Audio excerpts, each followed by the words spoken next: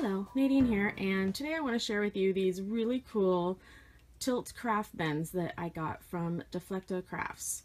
They hang up on your wall, which is really great for me because I don't have a lot of space on my work area, on my desk. So I love how these hang up on the wall so they get out of the way. And this right now is two different units. It's a the smaller one, the smaller bins are come with six bins and the larger one comes with five. And not only do they just hang up on the wall so they get out of the way, you can bring it to your crafts area too. All you do is just grab one of the bins